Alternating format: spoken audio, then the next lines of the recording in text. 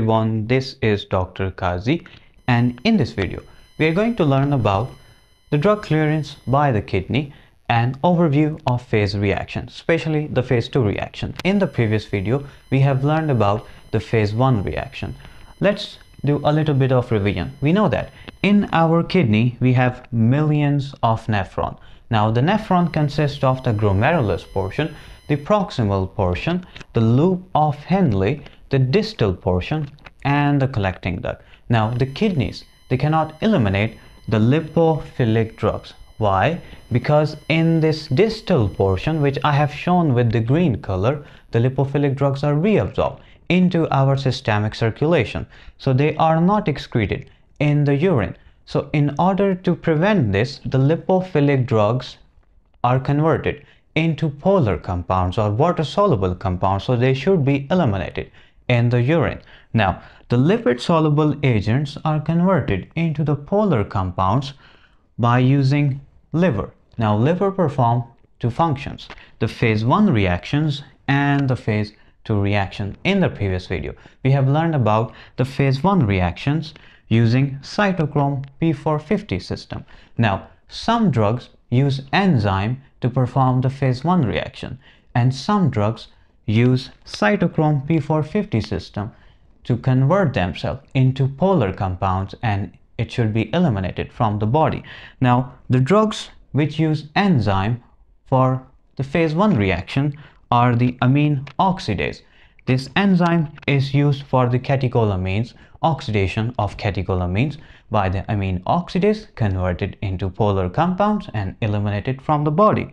The alcohol dehydrogenase for ethanol oxidate.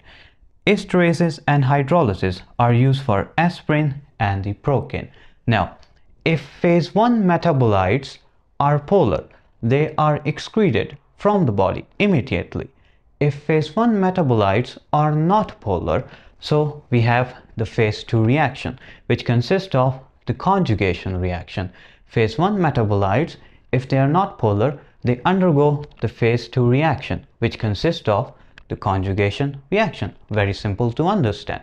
Now in conjugation reaction we have the addition of the polar compounds in order to make the drug polar. So it should be excreted water soluble. Now if it is water soluble after conjugation reaction the drug is therapeutically less active as comparison to its predecessor.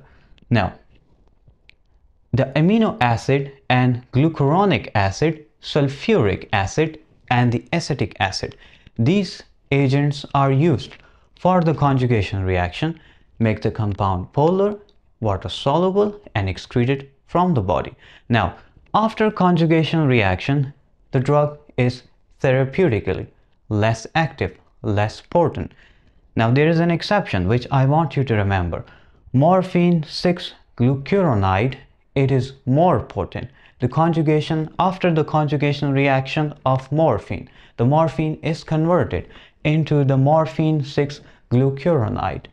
But this compound is more potent, therapeutically more active as comparison to morphine. This is the exception, so you have to remember this one. Now, how the drug is cleared from the body by using kidneys. Remember, we have made the drug polar by using phase 1 and phase 2 reaction. The drug is polar, the drug is water soluble. So how the kidneys will eliminate or excrete this water soluble drug from the body. Now this process is very very similar to urine formation, consists of three steps. The glomerular filtration, the proximal tubular secretion and the distal tubular reabsorption. Let's discuss this one by one.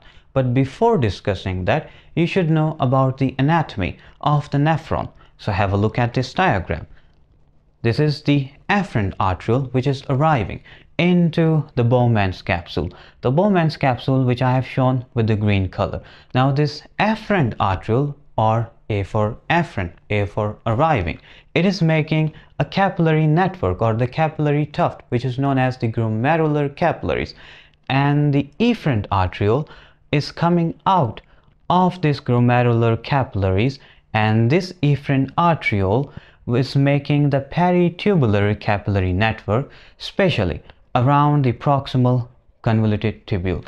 The Bowman's capsule continue into the proximal tubule which I have shown with the orange color and then we have the loop of Henle which I have shown with the pink color the distal tubule and finally the collecting duct. So the efferent arteriole which is coming out of this Bowman capsule it is making a capillary network around the proximal tubules and then this capillary network joins to form the renal vein and it enters the systemic circulation. Now, in case of glomerular filtration, the free drug which is arriving from the afferent arteriole due to pressure filtration, this drug is filtered into the Bowman's capsule and after the Bowman's capsule, it enters the proximal tubule, loop of Henle, distal tubule and the collecting duct and finally it is eliminated in the urine. Now, this process, the glomerular filtration, the drug is only influenced by the protein binding. If protein is binded with the drug, it cannot be filtered through the slit junctions present in the Bowman's capsule. So only determining factor is the protein binding. This process is not influenced by the lipid solubility and pH. It has no effect on the glomerular filtration of the drug. Now, in the proximal tubular secretion, remember, efferent arteriole, which is making the peritubular capillary network around the proximal tubule, and this capillary network will continue to form the renal vein and finally enter the systemic circulation. Now the free drug is filtered into the glomerular filtrate, but the drug which is active or the drug which cannot be filtered, it travels through the efferent arteriole and it will travel in the peritubular capillary network around the proximal convoluted tubule. Now this is very very important so you have to focus. So the drug which is present in the peritubular capillary network, this drug is actively secreted by using energy into the proximal convoluted tubule which I have shown with the orange color. It is actively secreted, the drug which is present in these peritubular capillary network. By using energy, it is secreted into the proximal tubule, into the loop of Henle, the distal tubule, and finally excreted in the urine. Now there are two processes. One is for the anion and one is for the cation. This process occur actively by using carrier protein. The carrier protein take the drug and they are eliminated in the proximal tubular lumen. For anion, we have the weak acid and the deprotonated form of the drug. For cation, we have weak bases and the protonated form of the drug. Anion, cation, both, they are actively secreted from the peritubular capillary network into the proximal tubular lumen. Now, you have to remember this clinical. It is very, very important. If you are taking two drugs at the same time, like the penicillin and probenecid, it actively competes for the carrier protein which are present in the peritubular capillaries and proximal tubule. So both drugs will compete for the carriers which will transport the drug from the peritubular capillary network into the proximal tubule. So only probenecid is excreted from the peritubular capillaries into the proximal tubule, into the loop of Henle, the distal tubule, and finally into the urine. The penicillin is retained in our body if we are taking two medication at the same time because they both are competing for the carrier protein. Now, in case of infants, because these capillary network are very less developed, so the infants retain the drug in our body. The drug cannot be actively secreted into the proximal tubular lumen. Now, in case of distal tubular reabsorption, have a look. Some drugs which are uncharged, they pass through the proximal tubule into the loop of Henle and into the distal tubule.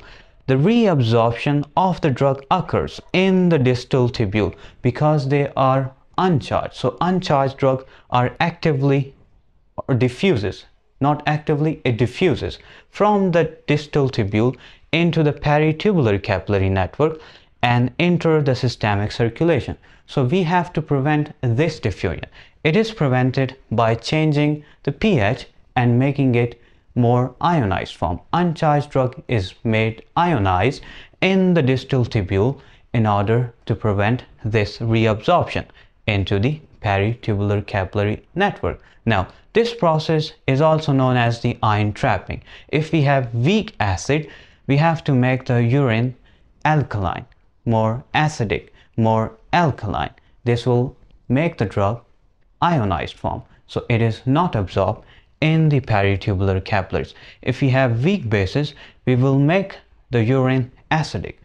In this way, the drug is ionized and the absorption is prevented. This is all about the overview of phase reactions and the drug clearance by the kidney. Please do like, share and subscribe and I will see you in the next video.